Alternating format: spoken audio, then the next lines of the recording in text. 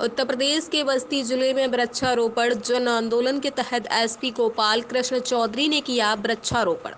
SP ने police line परिसर में किया वृक्षारोपण, वृक्ष लगाएँ, पर्यावरण बचाएँ। महाअभियान को सफल बनाने की एसपी ने की अपील। एसपी गोयल कृष्ण चौधरी ने वृक्षारोपण की महत्व के बारे में बताया, मानवता की रक्षा के लिए वृक्ष पेड़ पौधे बहुत ज़रूरी हैं।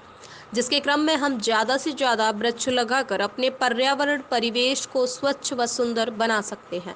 प्रकृति के प्रति सकारात्मक दृष्टिकोण रवैये को लेकर सभी को ज़्यादा से ज़्यादा पौधे लगाएँ।